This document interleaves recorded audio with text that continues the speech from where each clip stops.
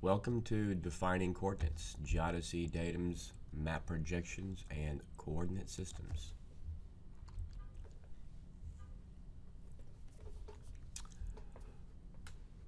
The Earth is not flat.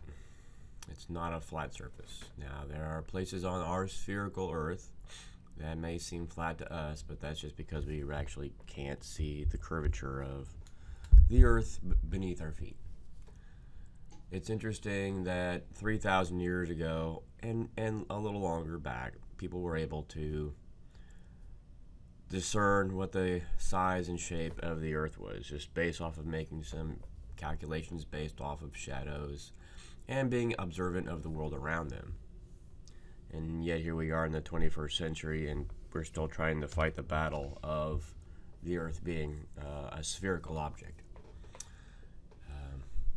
It's, it's not a flat surface. It's not flat. There's no NASA conspiracy. We have this all well measured out. We have satellites in space that orbit. And uh, yeah, so let's just try to put all that garbage behind us, even though it does impact the way we do our lives sometimes because we have to spend a lot of time debunking garbage. So, but I'm not going to do that right now. A map projection is a mathematical transformation of a three dimensional surface onto a two dimensional surface. Simply put, we take the geographic coordinates, our longitude and latitude, and transform them onto a new coordinate system. And we generally use a series of equations to do this. We're not going to do any of those equations in this video.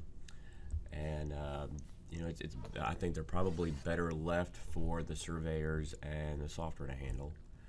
They're not exactly complex, but they do require a lot of work, and they do, um, they are um, uh, tedious.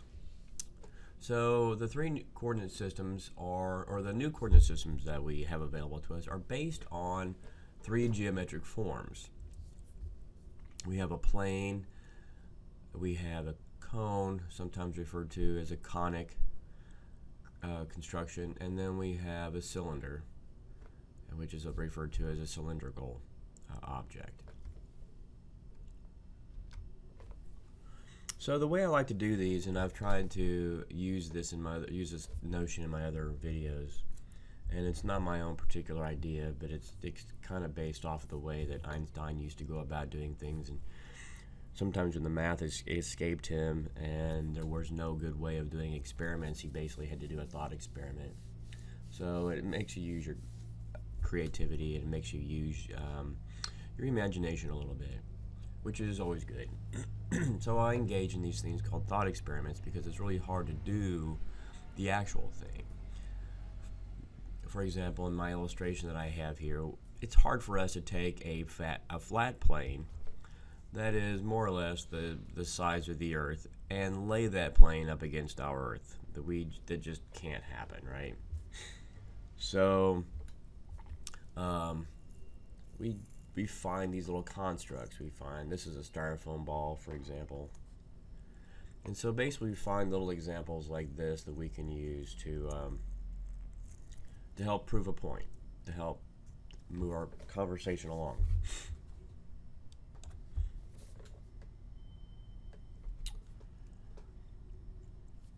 So we have these forms, and if you take a, the plane is supposed to be a, like a piece of paper, and if you lay that piece of paper up against the earth, we're going to lay it at a point that's tangent to the place we want to map, right? So this, the, so we have to go back to our high school or maybe middle school geometry and trigonometry a little bit because we to revisit the definitions of things like tangency, right? So if something is tangent to something else, it means it it's it is perpendicular to the, the surface of whatever that is at a specific point or a line. So we can be tangent to the earth at a point or a line. And we'll see how we can do that in a few minutes. The second form that we can use is, is a cone. And basically what the cone is, is we've taken that piece of paper and we've uh, turned it into a cone. We folded it over and made a little conic shape out of it. And then we have a cylinder.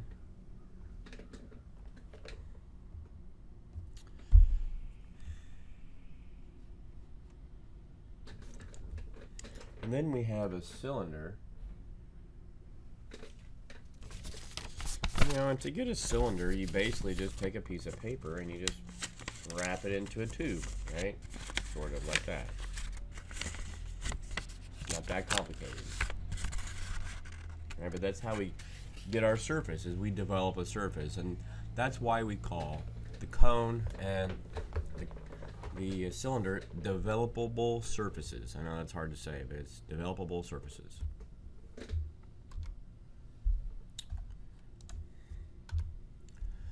So we need to think about some things while we're doing our thought experiment. So there, there's some some some considerations we need to take into account. We're basing all this off an ellipsoidal Earth. So the Earth is not perfectly spherical; it's ellipsoidal. We also have to consider that there's always going to be distortion because we are taking something with three dimensions and converting it to two dimensions. So we're taking away a third of the information almost right? So there's going to be distortion and there's going to be error. So we have to figure out ways of mitigating the error while we can still have a useful and a useful product. There's no way to have 100% fidelity between a three-dimensional surface and a two-dimensional surface. So we've got to figure out what we can do. However, we do have to account for distortion. That's what we're basically doing when we're investigating these things. Tearing, shearing, and compression are the three types of distortion that you will run across when you're developing a map projection. And it can have a variety of effects on a two-dimensional map.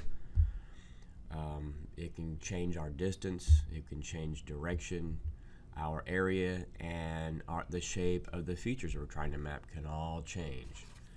And there's no way you can preserve all four of those traits you might be able to preserve two or three, but there's no way to preserve all four of them unless you actually go keep maintain your three-dimensional surface.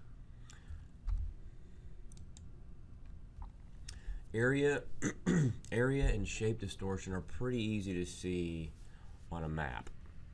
Well, we're used to seeing, you know, the pull-down maps, maybe in our uh, elementary school classrooms or high school classrooms where the instructor goes up and they pull a map down so they can show you what the United States looks like or maybe a world map.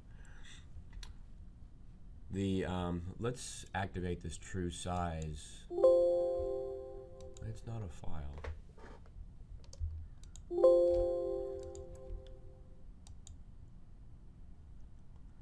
see what happens. Well, I've coded it wrong, so what we're going to do is is this.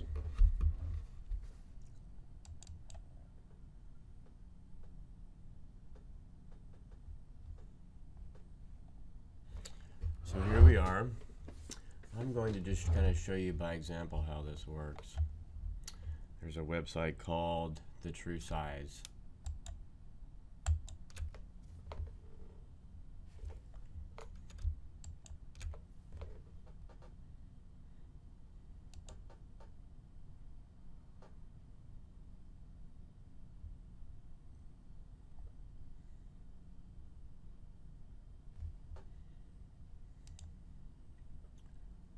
So this is this view is very distorted right now.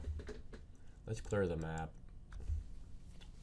So one way we can tell that this map is very distorted is Greenland just kind of disappears off the top of the map. And we know that Greenland actually has a is rep, is, is basically a uh, the one of the largest islands on the planet. So it doesn't just disappear off the top of the map. It actually has complete closure. It's an it's an island an island territory. So um, we also can see that Canada kind of stretches up towards the top of the screen and Russia stretches up towards the top of the screen. But it's really, if you didn't have a, a very discerning eye, you might be convinced that Iceland is huge and Greenland is huge. But that's not exactly the way that it is.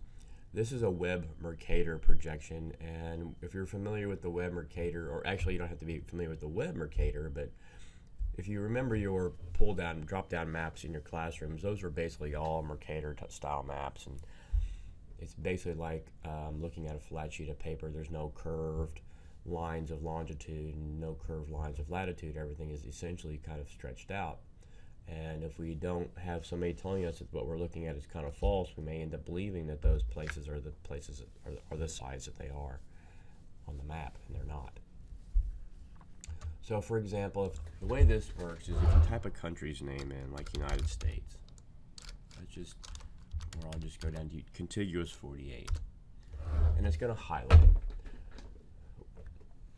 I'm going to drag my map over. And what we can do here is we can pick this map up, we can pick up the United States, and we can drag it. So you can see how distorted it gets as I, as I bring it towards the northern latitudes. Well, that's an example of what happens when you're using a Mercator because a Mercator tends to stretch things out as the lines of longitude don't converge. They are basically parallel to one another, and so we, when you convert your two your three-dimensional United States onto a two-dimensional Mercator, it starts to stretch things out, just incredibly, ridiculously so. Now, along the equator, that's basically where we have our best size reference um, because that's one of the lines of construction. And I'm getting my, ahead of myself a little bit, but the lines of construction for the Mercator tend to run through the middle of. Uh, they, he basically uses the equator as a line of construction. Now I can lay the United States down on top of Africa, and we can see that basically the United States fits really nicely in the Sahara Desert. Actually, I should not say Sahara Desert. I just should say Sahara. Sahara is the um, Arabic word for desert. So if you say Sahara Desert, it's like saying desert desert. So let's just drop that right down there. Great, right? So let's take China, for example. China and the United States are about the same size. The United States a little bit larger. Doesn't look so, but once we consider Alaska, China is larger than the contiguous 48 parts of the United States, but once we add in Alaska, the United States is larger. And I can pick China, but look what happens. See, that's what this is. The, this is the effect of a Mercator projection. It's not very. It's not good for high latitude or um, conversely, it's not good for for places that are, are um, away from the equator. So we'd get the same impact impact if we if I had to go down uh, and uh, map it, you know, below Australia. So let's put. See, China almost fits in the Sahara too, right? And I don't think I get a chance to rotate this, which is unfortunate.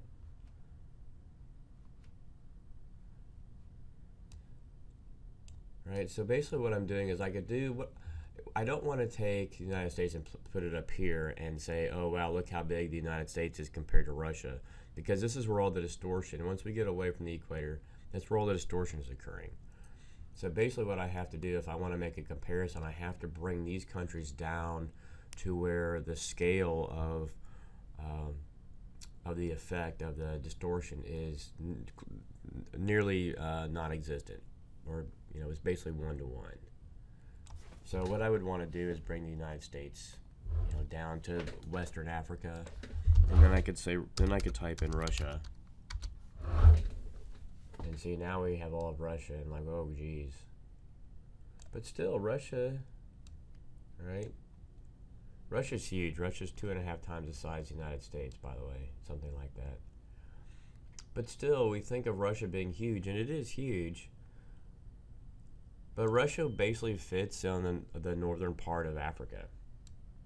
You know, we can if we can m- massage these around, and here this is the Levant. This is the Holy Land area: Syria, Iraq, Jordan, uh, Israel, Lebanon. So it's it's. I'm not trying to say that Russia is not large. It is large, but it's interesting now that we can kind of see how things, what the size of things in relation to other things really truly are. Um, it sort of brings this point home about how maps can distort and kind of show us how things aren't. this is why when I teach my classes, uh, my cartography classes, we I start off by saying all maps lie. All maps lie. Every map that you look at is a lie because it takes information and, and it's a reduced set of information, right? So if anytime you're dealing with a reduced set of anything, it's not exactly dealing with the truth.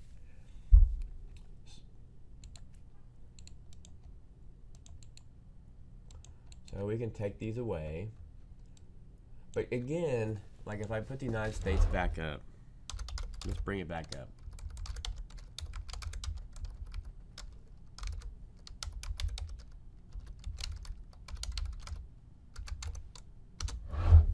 Okay, there's the U.S. And we'll drag the U.S. down to near the equator. And we'll float it over here. Look how big the Democratic Republic of the Congo is. The DRC, the Democratic Republic of the Congo, is huge. It's a huge country. It's a what, what would you say? Maybe th two thirds the size of the United States. We don't think of these African countries as being very big, but they are very big. Algeria, for example, look how big Algeria is compared to, to the United States. Saudi Arabia is about one fifth the size of the U.S. Iran, eh, it's about one quarter, something like that. India, India, the, one of the world's most populous countries with about 1.1 billion people, easily fits inside the coterminous United States. Right, so this is a good this is a good application. This is a good website to use to look just to look to see how things are. So in our American mind, you know, we tend to think, oh, we're so crowded and everything. I don't think so because look at India. India has, like I said, about 1.1 billion people. The United States has about 400 million. India has about four times the population that we do, four times and three times, three times the population of the United States in about half the area. So consider that. If so, let's see, Bangladesh, let's zoom in on Bangladesh. Bangladesh is about the size of Wisconsin and has a population of about 160 million people. Right, so there's Bangladesh. We'll zoom in. That's Bangladesh is this area right here. And like I said, it's about the size of Wisconsin. And we can move this around. So it's, see there's Minnesota, Wisconsin's about kind of like right in here-ish. That's, you know, so there we go. And so Wisconsin has a population of what, 11 million maybe, 9 million. Bangladesh, about the same size, has a population of 160 million people.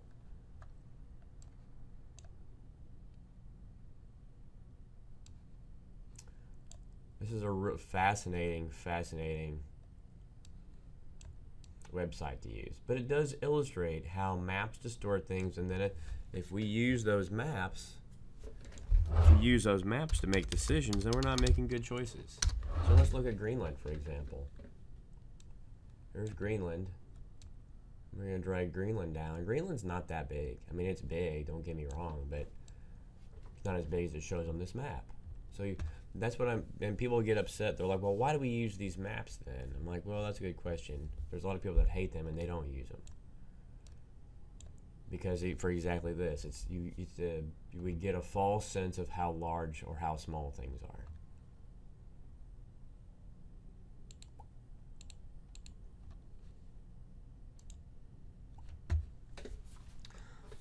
are. so this is why we try to not use you know, if you want to use Mercator to help you find something, help you locate a country, but it's certainly not going to give you a good idea of how big that country is compared to another country. You don't really want to do that. Um, and one of the things that I pointed out on this that we'll talk about in a little bit, distortion always occurs away from the construction parallels and the median. So bear this in mind. So you'll notice that the closer I got to the equator, the truer, truer the size of that country became, and the further away from the equator, the, towards the poles. And so, you know, uh, let me move on to the next slide, and I'll show you. See, this is a Mercator type construction. Notice how these these lines of longitude they don't converge like on a they don't converge like on a globe, right? So basically, what you're doing is when you pull those lines of longitude apart, you're still having to map the same area inside those places. And so you're stretching that territory out. You know, if you take a plastic playground ball and you were to draw this, draw the United States or draw a world map on a playground ball, then you cut that, you cut those, um, you cut that ball up, and you're like, well, now I want to make a Mercator map out of this. You're gonna have to pull those lines of longitude apart so that they're square like this. And when you pull those lines of longitude apart, you're also, you know, increasing the distance at of where all those places on the on the globe are. You know, proportionally so. So yeah, you're gonna have distortion. So it's pretty easy to see. Now, what I'm trying to do here, and I think I proved the point on the website, was um, distance is not good either. So the red line represents Denver, Colorado to Madrid, Spain, and the blue line represents Denver, Colorado to Buenos Aires. So here on this map, on the Mercator map, they look pretty much the same, the same distance. They're not the same distance. It's about a thousand miles different. So when we use another um, map projection, when we use this is a um, an equidistant, azimuthal equidistant. When we use a, a map projection that's suitable for calculating distances, then we can see that there's a little bit. We note here that the red line and the blue line are visibly different in length and which is good because it helps illustrate that there's a thousand miles difference between the flight time, the, the flight miles between the United from Denver to Madrid is a thousand miles different between. There's a thousand miles difference between the same flight, the flights between Denver and Madrid and Denver and Buenos Aires.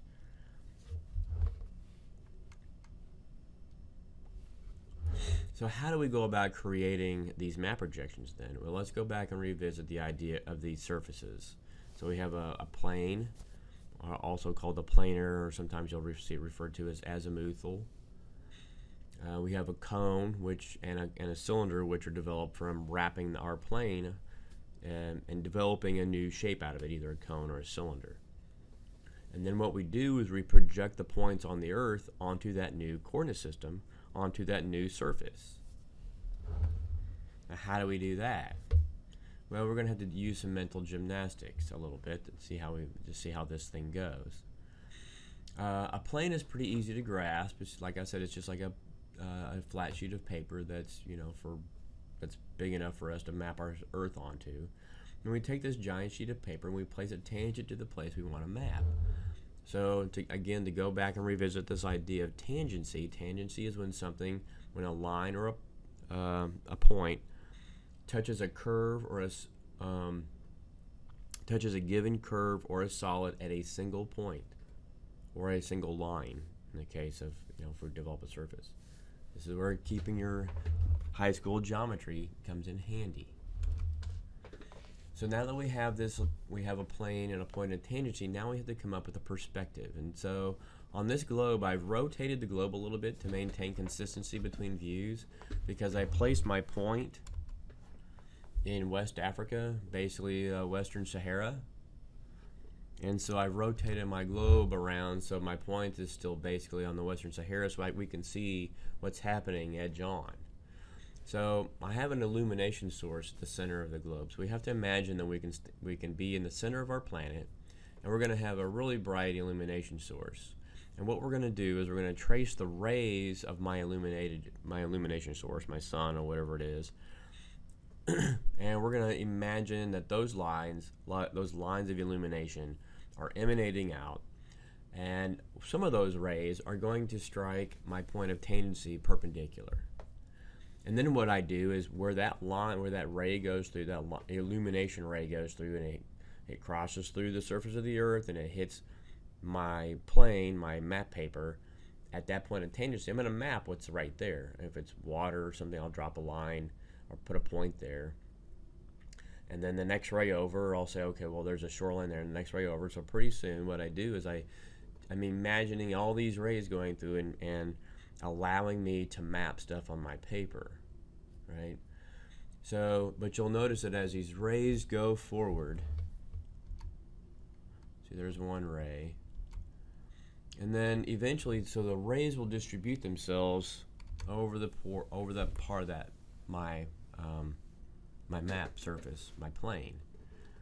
So the point here I'll go back. Sorry, I advanced my slide. So the point here is basically this point because the ray that's leaving my illumination source passing through the surface here and strikes there. So this point becomes that point. So that's where the distortion comes into play. And this point exits the Earth somewhere down here, and then it's the basically you think of it as uh, casting a shadow or like doing a you know shadow puppets on this on a, on a wall somewhere. Is you have your illumination source, and now light comes through here. It uh, it passes through whatever you're trying to map, and then it hits the wall. Right, so that's where you put your point, or that's where you start to draw, and then you connect all those lines. But when you pull your paper away from the planet, everything's going to be pretty distorted. So what we're doing is we're creating this uh, thought um, experiment where we're using an illumination source at the middle of the Earth. Now there's two other illumination sources we'll get to in a minute. But these vantage points are based on the illumination model, and those are, these are the illumination models that are used for pretty much all map projections. The, the perspective that we're using right now is called a gnomonic light source perspective or, a, or a, uh, in simpler terms, you'll see this referred to as a gnomonic perspective. So gnomonic means the center of the earth, or the center. The light source is at the center. The rays are uh, at, uh, are perpendicular to the plane. They uh, emanate perpendicular to the plane. At least the initial one does. You follow the ray from the source to the point on the surface and project onto that plane what you're trying to map, and then you do that for all the points you're interest, interested in. So the next perspective we have is called stereographic. So rather than having a point at the center of the Earth, we have a point that's opposite the point that we're trying to map. And this is called the antipode. So a, the antipode is a point opposite the point on the map that we're trying to, we're interested in, our area of interest or you can think of it as the point that's opposite the point of tangency. Um, the light source strikes perpendicular to the plane because the, our perspective is perpendicular to the point of that one. The initial ray that comes out is going to be perpendicular to our point of tangency. And then we have other illumination rays that strike. And then we map those areas on our plane So we follow the ray from the source to the point on the surface, project onto the plane, and then we do that for all points. And thankfully, we have computers to help us do this because the the algorithms for this are not mundane, they're not uh, trivial, and they're pretty tedious to go through. Back when I was in school, we had to do this, and uh, that's pretty much all you did all week was you figured out how to take uh, a point on the Earth's surface and you run it through your equations, and then you come up with a point where it ends up on your map. And there you go. And thankfully, we have computers to do that these days. Now, the final light source perspective we have is called orthographic. At this per this particular perspective is we have a light source that is at infinity. So that doesn't necessarily make sense because if something was in, at infinity, we may not be able to see its uh, li- it as a light source. But we can pretend like the sun. The sun's kind of uh, our sun. Uh, is for all intents and purposes sort of a useful um, object to use for this example to use for this. But so if we and again this is a mentally mental thought experiment experiment. So um, so bear with us. So the light source is at infinity, and our initial sun ray strikes perpendicular. And in fact, all of the rays, because the sun is at infinity, or our light source is at infinity, all of our rays are going to strike perpendicular to our plane. So you follow the ray from the source to the point on the surface, you project that onto the plane, and you do that for all your points. And again, it's a good thing we have computers for this because this is not a trivial task. But those are the three points of those are the three perspectives that we have for developing uh, a, uh, a map projection. And we can kind of do those things with the cones. in this particular case, I've used it I've demonstrated how this works with a plane. Now there are we can do the same thing for to, for, to some extent with both the conic surface and the cylindrical surface. Like it, so, planes are pretty easy to conceptualize. Uh, the other two surfaces are a little bit more challenging: the cone and the plane. And these are called, and the plane and the cone are called, or the the cone and the cylinder are called developable because we take a plane and we wrap it into a cylinder or wrap it into a cone. So we've developed a new shape out of out of our plane. So a cylinder, for example, as I've shown you here, the cylinder touches the planet at a line of tangency, and this is called the standard parallel. Well, no, it's not. It's called a standard line. We'll get the standard parallels in a minute. But it's also a line of tangency.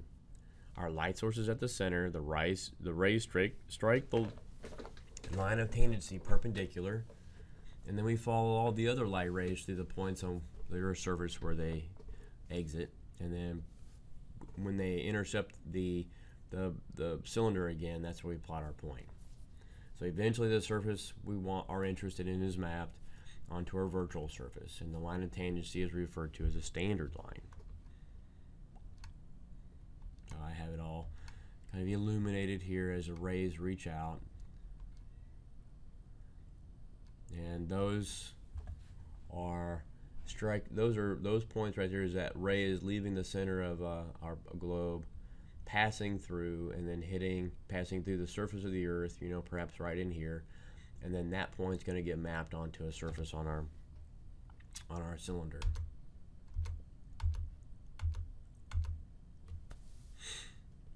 so to complicate matters we can also rotate our cylinders so we don't necessarily have to keep the cylinder in its normal position, which is way it's described here. Normal is that the axis of the cylinder is perpendicular to the uh, plane of our equator. Imaginary. That word should be imaginary. I'll have to fix that. So that part's normal. So when you're when our cylinder is sort of upright more or less, and the axis of the cylinder is perpendicular to a plane that describes our equator, that's normal. Now we can rotate that 90 degrees as indicated in the lower left graphic here, and that becomes transverse. So you'll notice that there's a there's what they call a UTM projection, a universal transverse transverse Mercator. So when you see the word transverse, you know that they've rotated that surface or that developable surface uh, 90 degrees. And then you can have an oblique projection, which is the angle, some angle in between the normal and the transverse. And I'm not going to go into a lot of detail. I borrowed this graphic to help kind of speed things up a, a little bit from uh, Wikipedia. So we have a cylinder that we can wrap our uh, use to wrap our our globe and then we, can, we also can have a conic surface. So the conic, basically, we've taken that same sheet, we've turned it into a cone, and we've dropped it onto our planet somewhere. So when you wrap the Earth in a, in a tube, in a cylinder, you're going to, add a line of tangency, you'll have a standard line. Well, you'll also have a standard line too when you drop that cone on top of our planet, and that point of tangency is also called the standard line. Like what I've got here, taking my little styrofoam ball and I have my cone, I'm going to drop it on there like that. And mathematically, wherever it touches that styrofoam ball, that's my line of, that's my uh, standard line or my line of tangency. And then if I can move this around however I want, and that becomes oblique, and I can turn it like this. So my there's a little green line on there. I don't know if you can see it, but if my line, my point of, my line of tangency is, if the uh, radius of that is perpendicular to the plane of my equator, then I have a tangent. It's a, it's a transverse. So, and just like the our uh, the, the cylinder, the cone also comes with normal transverse and oblique, oblique favors, flavors too. Um, however, um, we have to do a little bit more mental gymnastics now because if we, I can't do it with my styrofoam, But if we, if I push, if I, let's push my cone into my globe and have it come out the other side, what I'll end up with is something like what's described on the right hand side of this graphic is I will have two standard lines. And with a cylinder, I can if I could push my cylinder into my globe, I could I would end up with two standard lines. And so that's not a bad thing to have happen because if you remember what I said earlier when we were looking at that website, in that particular case, the Mercator projection, it's using a standard line that's basically the equator. But what if you and and distortion occurs away from your line of construction? So then it's like, oh well, if I can have two lines of of tangency, if I could have two standard lines, maybe I could figure out a way of, of managing my error better that way. And in fact, you can do that. Um, since these are mathematical constructs, we can kind of play around with this a little bit, but this is how secant projections are created. Is you've taken a shape and you've inserted it into, embedded into another shape, and so where that, where your original globe kind of sticks out and then dives back into your cone or your cylinder, that's where you have another standard line. And so that's where you get a standard parallels from. So like on the right hand side, each one of those is a standard parallel. And on the cone, we have standard parallels. And what this allows you to do is it allows you to manage your error a little better. So standard lines are special. Where the standard line runs, the scale is basically one to one, and the distortion is nearly zero. So you want to try to have all your mapped areas.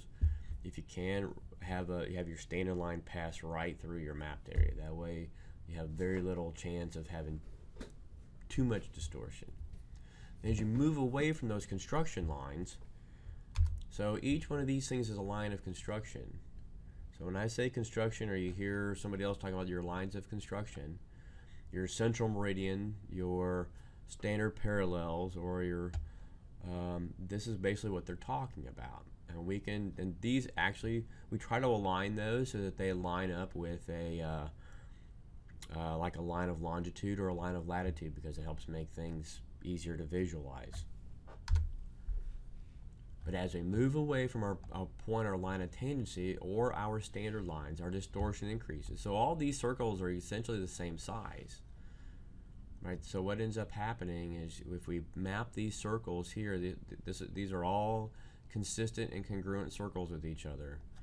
And then if we take those same circles and we on our globe and we place them uh, let's let's just about 30 degrees south or 30 degrees north and then we project them onto a Mercator type map this is the distortion that happens so these circles started off the same size on our globe but when we turned them into a two-dimensional surface using a Mercator projection it stretches those out these circles at about 60 degrees north and 60 degrees south were the, began the same size on our globe as the ones along, running along the equator. But in terms of, in, in when we converted those areas on our globe and projected them onto a Mercator surface, they became distorted. So we have to be careful about how we use, how we choose our projections and where our areas are that we're trying to map. So when we use a secant projection, for example, secant projections try to minimize distortion through creating a second standard line, um, but you still have to be careful. So this is how projections play out. So the developable surface, the plane, the cylinder, the cone is used to develop a coordinate grid. Attention is paid to how our geometric surface is aligned. Like I mentioned earlier, we try to let, match them up with uh, latitude and longitude. Uh, so that they it matches up fairly well with our ellipsoidal Earth. So, and then what we do is we set up a projection and a coordinate system combination. We construct it such such that a standard line or a central meridian bisects the area that we want to have mapped. If it bisects our area, if we only, if we're only, if we're limiting ourselves to a standard line, then we basically want to have that line run down the middle of the area we want to have mapped. Um, because that way the air propagates away from it, and the further away you get, there's more area, but at least the middle part of the map is relatively true. If our projection is secant, then we can use two standard lines, or two standard, and we'll get, or we get two standard parallels to minimize distortion. So then we try to make both of those lines pass through our area to be mapped. And so what I have here is the Kentucky State Plane Coordinate System upon which um, it doesn't say here, but I believe it's based on a conic uh, projection. The um, if we um, it doesn't really say very well, but we have um, these black lines are basically our standard parallels, and we can see where um, they pass through our state. We have a central meridian, which is this dotted line that runs right down the middle, basically around where Louisville is located. Uh, one of the things that they've done here, and for, for areas that are kind of oddly shaped like this, is you, and a lot of states do this, is they decide that, well, we can't really have, uh, a, this doesn't really work well for us to map the entire state because we're so weirdly shaped. So what we're going to do is we're going to map the southern half separately from the northern half. And so you can see where they have um, kind of that's where the green and the uh, kind of that I don't know what that is buff colored or something areas. They have north zone counties and south zone counties. And so basically this um, it's kind of hard to see because of the way they have things set up, but um, this blue area is their north is their coverage area, and you can see this dashed line out here is basically the central meridian, and it kind of looks like uh, this this area right here is one standard parallel, and this one's the other standard parallel. Then we have the southern half, and this is basically the central meridian for that. And then it's possible that this red line here and this red line here are are the um, standard parallels for the construction for the South Zone counties. I wish they had this uh, labeled a little better, but they don't, so there we go. But they do have some geographic parameters listed here. So the North Standard Parallel is at 38 degrees, 40 minutes north latitude, and they give you the decimal degrees version of that. The South Standard Parallel is 37 degrees and 5 minutes north. So if we can, we, we could get out our GIS software and map this stuff out. The parallel of our grid origin is 36 degrees 20 minutes north. So it's kind of like right in here, basically. Those, those, two lines are basically almost on top of each other, and those. Oh, I read that wrong. Um, the, meridian of our grid origin is 85 degrees 45 minutes west, and so I'm guessing it's probably right in here somewhere. And then we have a false northing and a false e easting, which we're not going to talk about right now because those are part of a um, another discussion about state plane. But this is basically how these things are set up. As you can kind of see that this is a conic. We know this is secant because of the way we have two we have two standard parallels. Uh, so we know we're, we're, dealing with a secant type projection, and we have a, a, a parallel of the grid origin and we have a meridian that tells us kind of where the seam of our cone is. And they've also put into practice the division of our landscape into two places that are more easily to map than, than, the, than one. Uh, because again, there is a single zone actually for Kentucky, and I'm not really sure anybody uses it anymore because uh, for for the reason that, that, once you get further away from the lines of construction, the more the more distortion you get, and then the data that's out here on the fringes doesn't line up with the data from the counties around it very well. So I'm not really sure how well used the single zone for Kentucky is.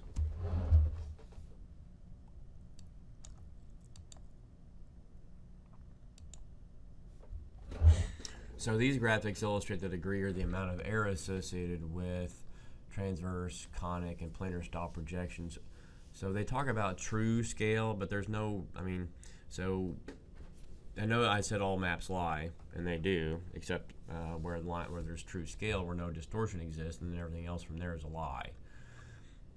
Um, So true scale exists only along the standard line or the standard parallel. So you'll notice over here on B, this is a Lambert conformal conic, and so we can have we have a standard parallel here and we have a standard parallel here, and those are the lines against which scale is true. There's no distortion. But as we move away, scale um, the distortion in, in increases. Same way for here's our line of true scale. Um, this is a transverse Mercator, so we know we're dealing with a cylinder that's been dropped down through our planet, and these are the lines where the the uh, the cylinder kind of cuts through, and so we can see where the air propagates, and, and the degree two percent error. Now you'd have to ask yourself, am I okay with two percent error? Am I okay with one percent error? And so then you're you might have to develop a different way of of mapping things. So why do we care about this? So we talked about distortion, and you know, a lot of cases you look at a map and you're like, well, I don't really care if there's some distortion because I'm just mapping my my map my minimum mapping unit is a, is a county or my minimum mapping unit is a state or a country, and I don't really care about distortion because I'm just showing, um, you know, country level data or state level dating, and it's not that big of a deal. However, if you're mapping themes where that are tied to specific locations and accuracy matters, for example, if you're doing any kind of habitat mapping, or if you're doing watershed analysis for a, an area, um, you it may your error may need to be cons- uh, taken into consideration because it could throw off your analysis in other for other themes. So, how do we manage these situations using software, though? So, we've talked about these in kind of a theoretical sense, but what's the actual practical sense of using map projections? So, what I've done to the right is I've pulled out the projected coordinate system um, inter- user interface from ArcGIS Pro to kind of show you where this stuff plays out. We can see all the details associated with a single projection, and this is the azimuthal equidistance. So, this is a, um, a planar type projection, piece of paper, essentially and we can see all the we can see a lot we can't we don't see all of them but we can see a lot of the projection traits associated with this particular map projection the central meridian uh, in this particular case I've moved it. And I don't remember what I moved it from but these fields some of these fields are editable. Like if you click inside them you can uh, enter in your own particular custom value. So, for example, if if I were to if I were going to use um, this map projection, if I thought I wanted to use this, but I didn't want didn't want to use it for this area. So you have to be a little bit familiar with latitude, longitude coordinates to begin with. So where is this is a negative 105 that it so that immediately tells me I'm in the western hemisphere. It immediately tells me that I'm probably somewhere near Colorado because Kentucky is around 80 86, 87, something like that. And I know that Denver's around 105 just because I've been doing this for a while. And the latitude of origin puts us um, a little um, north of here. So 36 degrees north. So wherever that intersection is, 105 and 36, 105, 105 degrees west and 36 degrees north. North. So that's where, that's basically what the center of our Cartesian coordinate systems are. So if I want to move that, like say to move it over Kentucky, I would lose, I would probably leave this alone, and I would move that to about 87 or 88 to see what happened, and then, and then fine tune it from there. We're using a geographic coordinate system, GCS, Geographic Coordinate System, and then we're using the World Geodetic Survey in 1984 as our as a basis for our that's our uh, horizontal datum. We know we're using uh, the spheroid based on WGS84, and our datum is WGS84. Now, none of these are editable fields, so we don't have to worry about that. But this allows us to kind of customize our map for our particular location, and then we can zoom in on our map using QGIS or ArcGIS, Pro and zoom in on our map to help map out uh, our local locations. But this is not how we translate from one projection to another, but this is simply allows us to customize a projection, a in individual projection to meet our singular need for mapping stuff and using this particular projection. All right, let's summarize. Projections are on an ellipsoidal Earth, so they're not on this perfect sphere that we, um, they're not on a per perfect mathematical sphere. They're on our ellipsoidal Earth. Projections always have distortion. There's no way to preserve 100% fidelity between a three-dimensional surface and a two-dimensional surface. Tearing, shearing, and compression uh, are things that can happen to our map when we move from a three-dimensional surface to a two-dimensional surface. And that distortion, those that tearing, shearing, and compression can have a variety of effects on our two-dimensional map. Now our projections are based on three types of surfaces, a plane, a cylinder, and a cone. Projections are developed using one of three different illumination perspectives. We have the gnomonic, the stereographic, and the orthographic. And then we can take those projections and change their orientation in one of three ways. We can have it be normal. We can set it up so that the axis of our construction is parallel to our plane of the equator, and so that's transverse. Or we can be somewhere between normal and transverse, which is oblique. If we cut into our ellipsoidal surface, we create a secant projection. Remember the error always propagates away from our lines of construction, so our standard line, standard parallels. A lot of people say, well, if I ask them where, do our, where does our distortion occur, people always say, well, it's at the edges of my map. No, they're away from your lines of construction. Your map margins are just graphical elements. You have to know what's happening with your mapping perspective and the map projection that you've picked and your standard lines and your lines of your projection construction. That's the deal. Uh, and the, but your parameters can be modified in software to customize a projection for a particular mapping application geared towards your specific mapping, uh, your area of interest. All right, thank you for watching and listening.